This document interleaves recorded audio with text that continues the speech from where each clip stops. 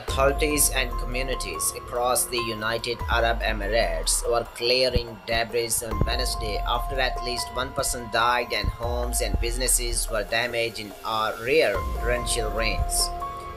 The extent of the damage was not immediately clear as emergency workers sought to drain flooded across roads the country hours after heavy rain subsided late on Tuesday. The UAE lacks much of the needed drainage infrastructures to handle heavy rain.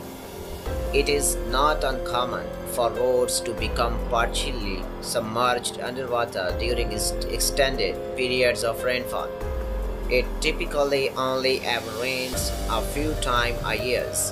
The UAE also frequently conducts cloud seeding operations in increased rainfall. A forecaster from the National Meteorology Center denied any cloud seeding operations had taken place recently.